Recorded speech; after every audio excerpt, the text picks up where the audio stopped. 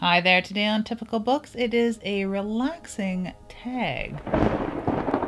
Most tags are relaxing. This is a fact that I have come to embrace of late because I'm catching up on some tags I was tagged in, and for a while I just wasn't really sparked to do anything but read books. You know, i have been embracing reading books a lot more than I have been making videos, I'm sure you've noticed. But this particular tag serves a dual purpose. I think that Colin from the Horrific Podcast, thank you for tagging me, Colin, when he created it, and he said as much in his video that it was something to sort of uh, spur him along because it has been a little dreary lately. And, you know, nothing but like coffee, a good book, and a tag video to chase the blues away, is what I say. Now, Colin has featured a lot of different horror authors and creators on his channel. So super thanks for that. If you haven't checked out the Horrific podcast already on YouTube, head on over. The link is below, definitely. And there's quite a few people that have also participated in this tag. So I'll have a few people to tag later on. And I think that I embrace this tag not only so I could sit down.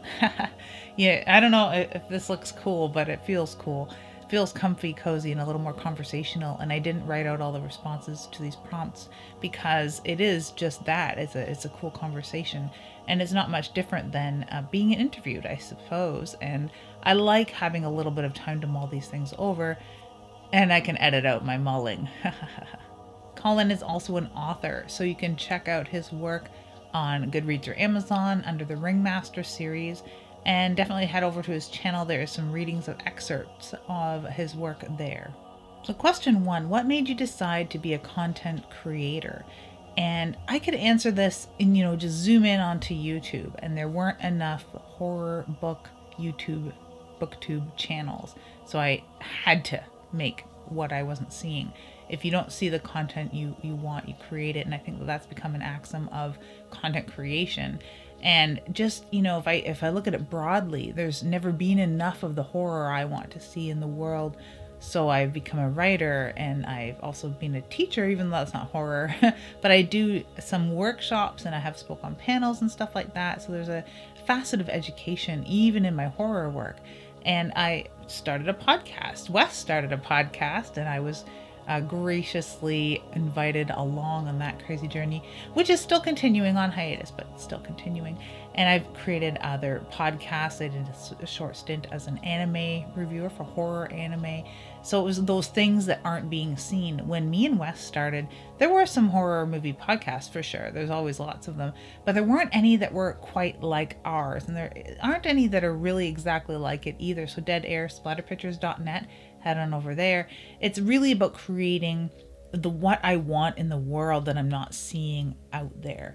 Not that I think I'm any sort of expert or lend a particular voice that's unheard to these topics, but maybe those who have a similar voice or are way smarter than me aren't making podcasts or YouTube videos.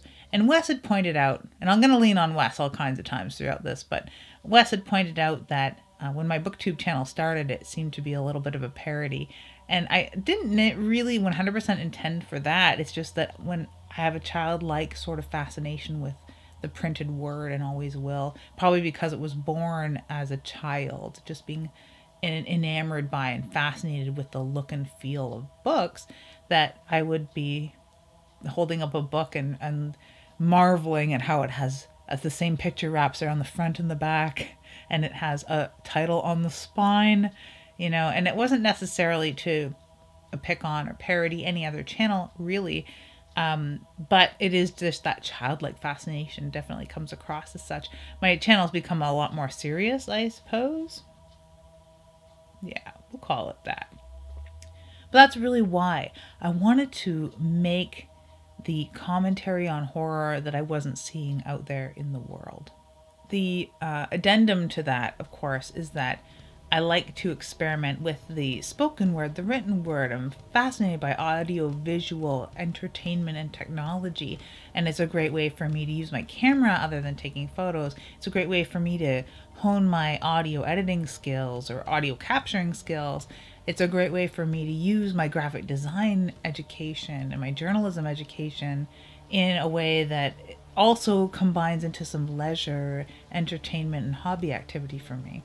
Question two is what has been your proudest accomplishment to date? And I mean, there's things up there that are like uh, getting a, really good job in a in a building that I always wanted to work in, um, working at my alma mater, as it were, at Algonquin College and becoming a teacher, or printing my first book, self-publishing my first book, having a story read on an old-timey style radio horror podcast in the Wicked Library.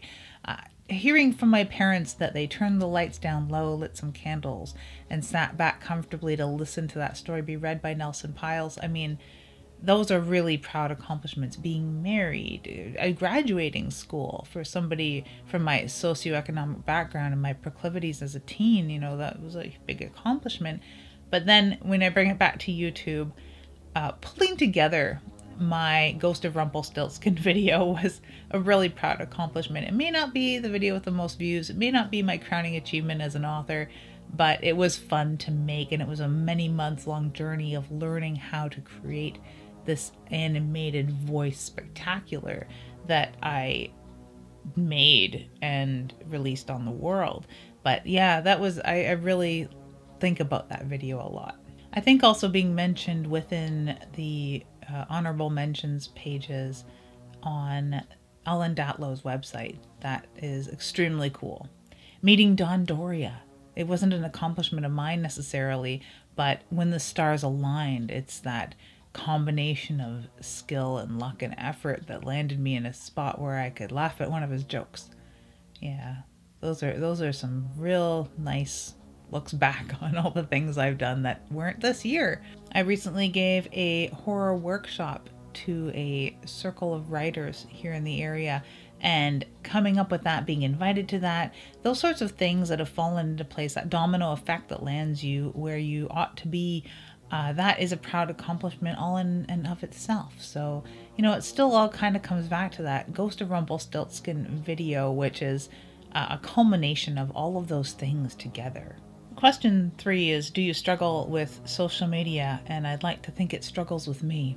But the truth of the matter is that I hate social media, like a lot of us do, but we participate anyway. I would love to ghost and post. That would be the way life ought to be if it were run by me. If I were the queen and you had it the queen's way, it would be everyone's just allowed to ghost and post. You don't need to interact. If you want to leave a comment and some likes or some criticism, whatever, it doesn't matter. Everyone is expected to have posted and ghosted. Post and ghost. But no, the interaction that happens there, the community that is built there, the friends that are met there, the family and friends that are allowed to see that facet of your life that they may otherwise not for the masks we wear in society. I think that that's super valuable and that's what keeps me engaged and that's what keeps other people engaged. I'd like to think is that you're you're posting usually with some thought, some forethought, not really to instigate likes or views or whatever it is that you're chasing or that we're supposed to be mythologically chasing on social media. It is that sort of engagement. Whether you're straight up being like, do my nails look cool today? and asking people for some sort of feedback or if you're looking for affirmation or whatever, um, a lot of times I'll post without much comment um, images from videos I've made or books that I'm reading. And it's not necessarily asking straight up, what do you guys think of this? But there will be people who have uh, positive or negative or indifferent, or you're introducing it to people it's never necessarily about being an influencer, but you know that you're influenced by what your friends are doing as well. So it is that give and take that I like about social media. It's also that give and take that I sort of struggle with because sometimes you just want to post and ghost. But I haven't really been embroiled in any of the drama or anything like that. And I've usually stayed arm's length from any, you know, really bad, messy BS online because it just takes so much energy and time. And it's usually negative energy that is building up inside you when you're engaging in that sort of behavior online. So, whether you are grabbing your bag of popcorn or in the stink, as it were, both are equally bad and never a good place to be. And it's just really bad energies around you. Why would you want to cultivate that? So, uh, take a break and go read some Zen habits or something like that instead of engaging in negative social media or doing things to instigate others. I mean, I am no angel online, but I'm certainly not creating a negative space for other people or myself or taking those things with me offline. If you close your laptop or turn off your tower or flip your phone over and slam it onto the cafe table and it's rolling around up there, you ought to be looking at different uh, social media places. The other thing I struggle with social media is that hall of mirrors sort of effect where I use um, if this then that, which is a service that posts things in other places. So when I make a WordPress post, it'll automatically show up here. Or if I make a Tumblr post, it'll automatically populate my Instagram or whatever. I'm mostly making up those links, but there are certain recipes, as you would, that create that hall of mirrors effect. So if I post something on YouTube, it can automatically generate. But I'm a bigger fan of the handcrafted post on all social media sites. It ought not be a hall of mirrors and it takes a lot of time to do that and consistency is key if we watch a lot of uh, content creation educators that's one thing that they definitely hone in on time after time is consistency is key i'm not consistent among myself every day. You know, I have different moods like everybody else does. And I really do have to give a hand to those who um, curate their own Instagram feeds or Twitter posts or YouTube videos where they do uh, a block create content and then dole it out on a schedule. It's just really not me because I'm very uh, a pret-a-pot kind of today I'm making this video and editing it and putting it out because this is my mood and this is what I want to talk about and this is the chair I want to sit in and drink the coffee and do the tag video sort of thing instead of having everything so regimented because it's not a job. If it was my job, that would be different, but it's not, so it's not. The technological demands on social media too can be can seem overwhelming. Sure, you can do everything from your phone, you really can, but to have that sort of consistency or that feel, or even want to pick up your phone some days, is just not in the cards. So my social media definitely does flunk a little bit there. But sometimes I'm available on one platform and not another for a certain length of time. And then I my mood switches to be on Instagram all the time and then I experiment with TikTok. So I definitely appreciate a lot of social media. Uh, I do struggle with the consistency. I do struggle with it not being a hall of mirrors and the time constraint because it does take a lot of time. It's never necessarily the people on social media that I struggle with because I surround myself with really cool people, like everyone watching this video. Number four is what content creator inspires you most? And there's never really one, you know, because if there was one, I'd be like John McClane, the makeup guru. He's amazing. But, you know, Caitlin Doughty, she has a fantastic channel. Um, Mother Horror, if you've read through her Instagram posts, her blogs, and things like that, she has an, a fantastic Instagram presence. There's Book with No Name. Book with No Name has a beautiful Instagram content but you know they don't necessarily influence me as much as other things outside of content creators and and Instagram and YouTube or Twitter or Facebook and all those things. But content creators near and dear to me. That is who influence me in all facets of my life. My husband is a content creator, and th- that word content just irks me. And Wes is the reason that that irks me. But my husband creates a fantastic podcast. He's a musician. He creates amazing music. Right now, under the project name Aenorex, you can pick up his albums on Bandcamp. You can check out his podcast at BindTortureKast. It's on Libsyn and it's available on Spotify and everywhere, everywhere. But he has an amazing analytical mind, and I love hearing that expressed, whether it be in a scripted portion for his show or his dialogue with his co host Luke or in his music. You know, he really, really inspires me and has since I met the guy. Wes Knight, my co host at splatterpictures.net and partner in crime in so many ways, we have had so many discussions about content, and he would say content. We're going to create some content today. And he knew that it irked me because we were having a conversation and appreciating art, appreciating film, and appreciating horror. It wasn't content to fill a gap out there, whether it was perceived or actual, but he knew that it got to me. And that word has become ubiquitous. What we're creating isn't fun, hobby, discourse, community. No, we're creating content. Content. Content content. Yeah, no. No, Wes. No, it's not content, it's life. Wes Knipe, with his webcomic Theresa, created with Chris Bagarin as the illustrator, he's been writing some fantastic stuff. He's been writing comics. He's created the podcast, splatterpictures.net. He does have a content creator's mind and a content creator's heart. His Panels of Blood podcast was a fantastic appreciation of the things that inspire him. And uh, Wes actually has the sort of content creator mind that I wish more did, where they're really following passion and they're doing what they're good at. I should really stick to what I'm good at.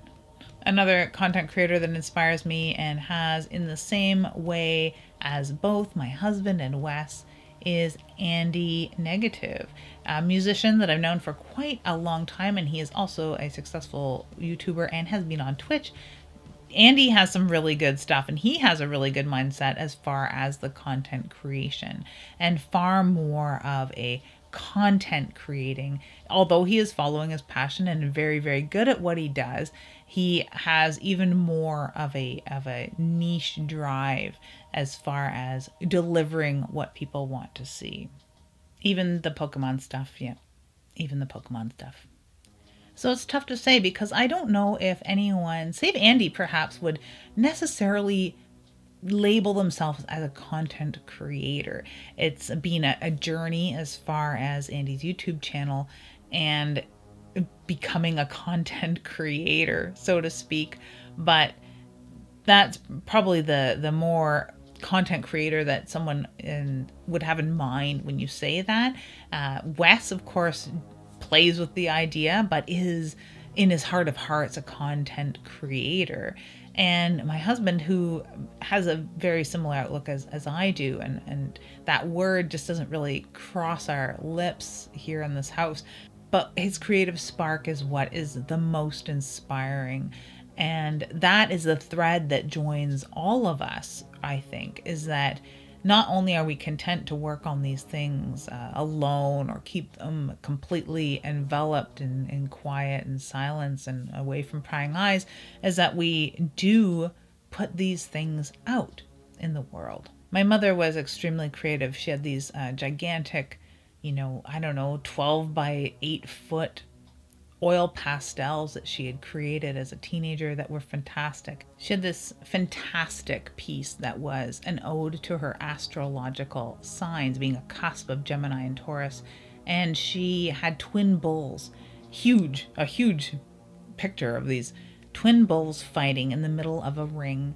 And I, if I recall, there was like, like sort of like blurry crowds in the background, sort of Monet style impressionistic crowds and these two huge bulls fighting with those little swords sticking out of them and blood here and there and roses being thrown by the crowds at these two bulls fighting. And it was fantastic. It was massive.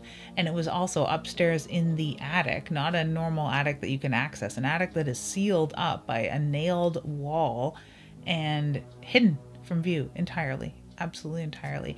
And she never really showed anybody. She created this fantastic, beautiful work of art that I wish I had and is to show you because it's so beautiful. But um, there's a content creator that is just strictly passion and not putting it out. So are any one any less than the other? Absolutely not.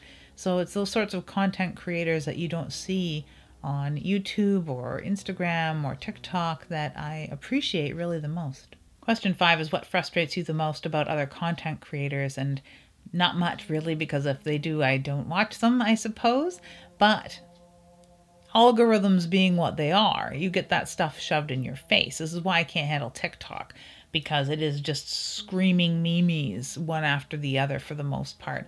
And I'm just tired of having to tell TikTok, no, I don't want to see these people and their loud music and their antics. No, no, no. I want to see bookish people or quiet things or witchy things, demonic things. That's what I want to see. There's very little of that. So it's just having to go through all of that to separate my wheat from their chaff. And YouTube was often serving me this drama roulette booktube video over and over and i had to keep clicking not interested and i was so aggravated with that and it's not only the algorithm i was aggravated at it was that these sort of slam videos, these drama videos, reaction videos, those sorts of things were so popular.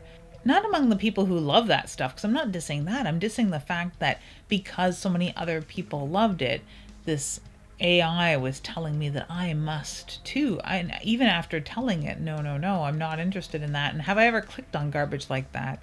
Well, maybe, but usually not. And now it just kept feeding this thing. I'm like, do I have to report this in some way to to prove to the AI that this is garbage material? I don't know. So I not necessarily aggravated with that uh, content creator necessarily, and not I can't say that I 100% hate that sort of uh, content that gets created because so many people do it. There's people out there that must like it. It's just simply not for me. But it seems that telling a AI that it's not for you isn't enough. So what's the next step?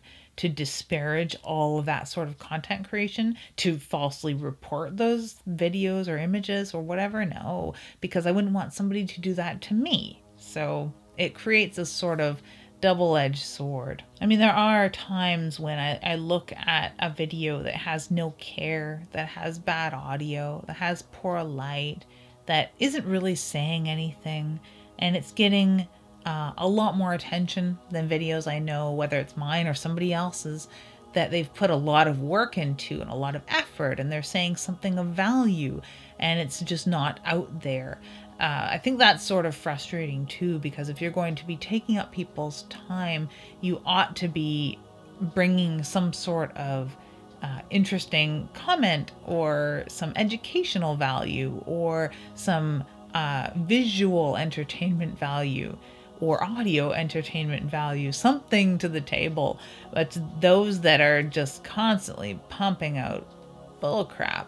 There's also content creators, if you can call them that, or thieves, you can also call them. I was reading a lot of anime reviews at one time, and I watched a video which was by somebody who was obviously absolutely not the person who wrote the story for a bigger anime magazine online and they were literally reading it and they had these like sort of contrived hand motions to go along with it.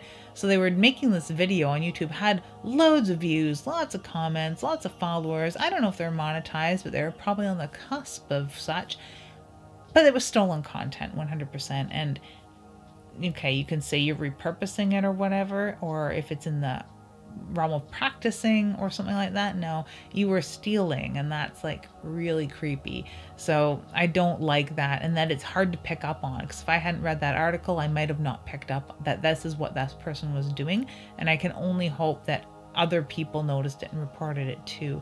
I don't remember if I did or not. So it's not necessarily the content creators themselves. I'm sure they're all sparkling individuals, but it is the constraints that we are put under to create this content, the technological demands, perhaps, the idea that everyone can just have a YouTube channel, you know, whether you have anything to bring to the table or not, you know, that sort of idea is sort of what I struggle with. So it's not necessarily um, the content creators, it's their reaction to the confines that they're put in in creating things in this space. I think it's the thieves and copycats that frustrate me the most. Question number six is what frustrates me the most about my own content. And this is something where Colin and I see eye to eye, and it is that our ideas are a little bigger than our skill set. And so often I want to have cool clips or cool audio fun or like animated this and that. And hmm, I don't know how to do all of those things. When I was creating the Ghost of Rumpelstiltskin video, I had asked Andy, who does a lot of motion text and motion graphic videos, I was like, how's the easiest, fun way to do this? Because I want to accomplish this. And he was like, oh, learn After Effects. And I was like, please, no. I don't want to learn After Effects today. I don't have time today. I want to do this now. It still took me several months to do, but with things that I knew how to do. So I've I, I know how to animate a sprite, if that's still a thing in After Effects, but that's really the extent of it. And I didn't want to learn a whole other program. And yeah, so there's so many times I want to have the perfect sort of snow fluttering down in a scene for fun, or mask myself out of something, or have like a ghostly effect or a wavering text and things like that that aren't uh, out of the box in the programs that I use. So I'd have to take the time to learn how to do that. And could I learn how to do it the way I want it done? Doubtful. I may have some graphic design background, but I am no animator. And that is something that I wish I could bring more of to this channel, so that's kind of frustrating.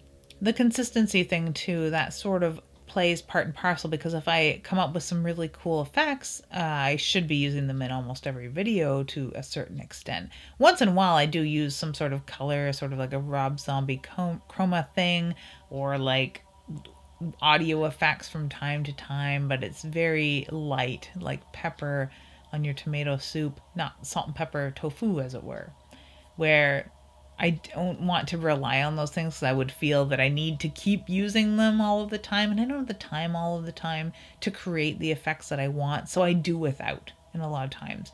Uh, the worst case scenario would be when I execute it poorly and that is the thing that I find very frustrating. When I try or spend like an hour doing something and then just trash it, ugh, what a pain. The other thing that is most frustrating is not being able to add things onto videos. Not that I would be ripping videos down and re-uploading them all of the time, but like my last tag video of booktubers I love, I left out two people. I've left out, of course, the Her podcast and Roya from RG's Devilship. I just want to turn back time and go back, or I want to tell myself take an hour after you have recorded to mull these things over so all your really brilliant thoughts can be captured on camera and added to the video. But no, I'm just in too much of a rush, I guess. That happened in podcast land too, where I would think of something after, or both. It happened to me and Wes all the time to think of something after, to look something up after, and just be like, God damn, I wish we would have known that for the show. Uh, it happens to me on camera on a weekly basis, especially when it's something that I wanted to build a video around.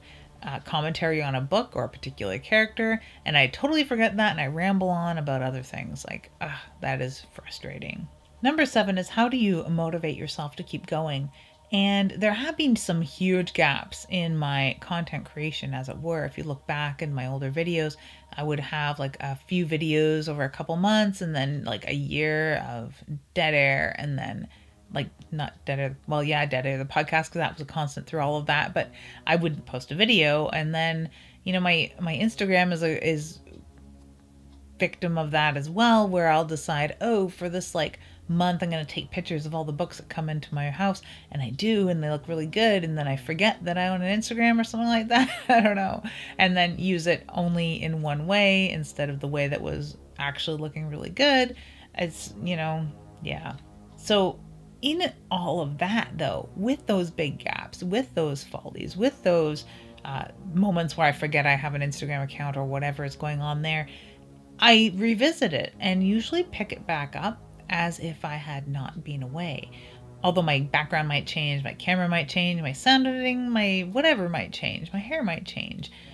All of these things are still me, and I know that I'm still creating from a place of my passions and my interests, and with an edge of some sort of education or introduction to books or films or thoughts or whatever that you might have not had or may have not entertained publicly. So I just always sort of pick these things back up. So knowing that I can do that definitely keeps me going. Whether I feel like I've hit a slump or something like that, I know that I will be fine again eventually. And then I'll just sit down and keep doing what I'm doing because it's enjoyable. So, what keeps me going is uh, water to drink and air to breathe and those sorts of things because I'm still going to be me, whether I'm sitting in front of a camera uh, in my office or upstairs or outside or making a podcast or all of those things. They all sort of feed the same aim. So I know that there will be something. And whether it doesn't hit the public sphere or not, there's something being created within my laptop or phone. It's the same sort of thing that I butt up against from time to time with writing is that I do hit a lot of writing slumps or a project gets to a point like a fully finished novel that is sitting right over there and it's just not going anywhere and it can sit like that for years. Someday I will pick it back up with the exact same enthusiasm that I did when I started it. And it's waiting for those times, I suppose, and knowing that they'll pass knowing that they'll pass and knowing things will change definitely keeps me going. And all of the cool books that are out there, like, hello, I keep reading. Throughout all of this, I've been an avid horror reader. So there's always going to be a book that makes me want to pick up the camera again. So that is that for the horror creators tag. Thank you, Colin, for tagging me, and I'm going to watch the other creators' videos who've been tagged in this video. I would really like to see this particular video done by uh, Regina St. Clair at Regina's Haunted Library and Merce at Harpies in the Trees, Anndy at Anndy Negative, and Marie McWilliams. Marie also has a bookstagram, so I'd love to hear about that. Anndy can answer these questions to a point of talking about music. I would love to hear Merce respond to these because her channel is just oh so so well done. I know she puts a lot of work into it and there is a lot of innate skill there and a lot of passion also a lot of learning because we've all had to go through certain learning curves with things. So i just love to hear feedback on that. And regina not only is she an accomplished writer and an editor and a filmmaker and like batilda batilda could do a separate video all of her own I would just love to hear the input of other content creators out there, especially in the horror space. So that's it for the moment. I'm going to be uh, picking right back up and doing the Horror Hearts tag that Regina had created as well. A lot of original tags coming out right now that are super cool. So I'm going to finish my coffee. And of course, if you have any input on these sorts of questions, you can feel free to answer them in the comments below or consider yourself tagged. Definitely check out the Horrific Podcast and have a nookie spooky day.